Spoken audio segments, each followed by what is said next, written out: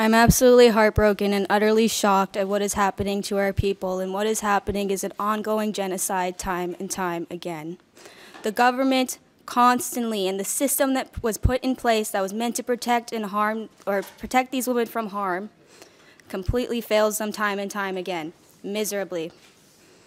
Last night, I sat down with members of the Winnipeg Police Service, and I feel very wrong, and I am so heartbroken to be able to say this.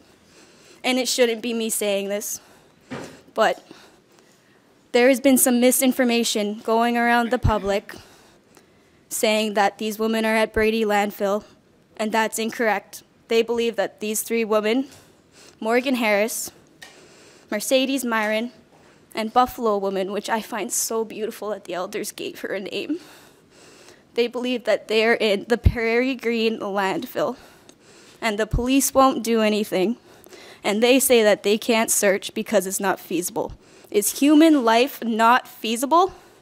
Time and time again, our indigenous women and brothers and sisters have to come here and we have to shout and we have to raise our voices begging for change and begging for justice for our people and that is wrong. I should not have to stand here today, and I should not have to come here and be so mad and beg and beg so that you will find and bring our loved ones home.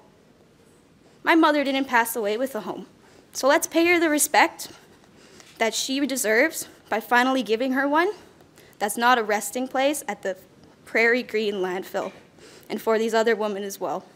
I think it's disgusting. The police are trying to cover themselves because they know that they fail our women time and time again, and it needs to stop. Your government started this genocide, and now it is your turn to help us end it. Miigwech. 오, 오, 오.